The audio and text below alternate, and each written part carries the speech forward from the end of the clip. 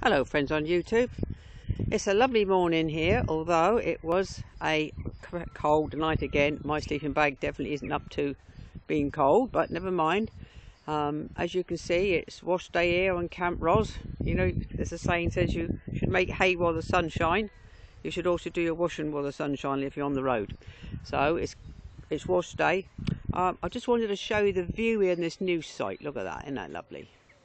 Sun shining. Last night we wasn't in the right place. I thought, oh, get it in the morning. Show that lovely sun.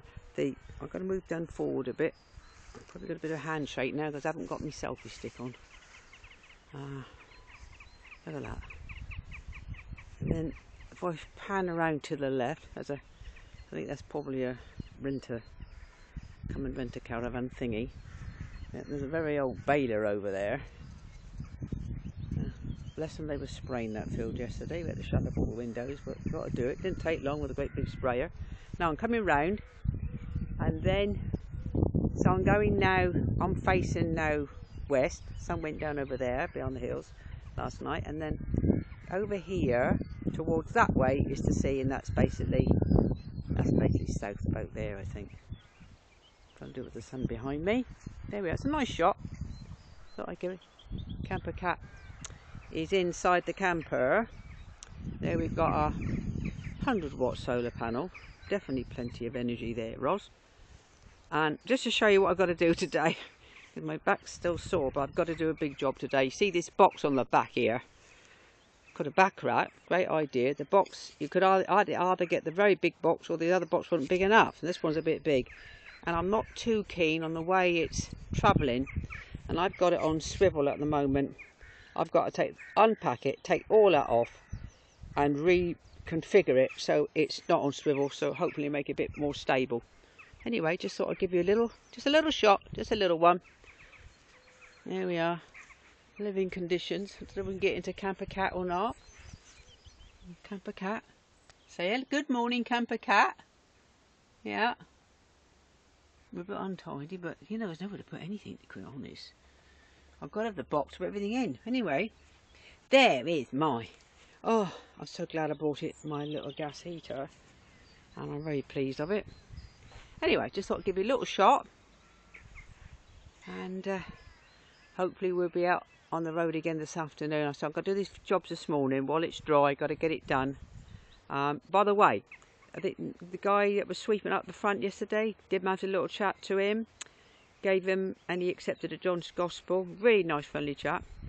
Um, and uh, hopefully we'll go back there. I might do Sidmouth tomorrow. Found out that um, Lyme Regis is going to be very difficult for me to get on to the front I think because I can't walk too far and you've got to walk down a hill and all that business. So I may concentrate more on Seaton which I know is good to get at, good at. Sidmouth he said is good as well. And I may try Exmouth, which I know is a pain to park, but we'll try Exmouth as well. So we're going to concentrate on those three places.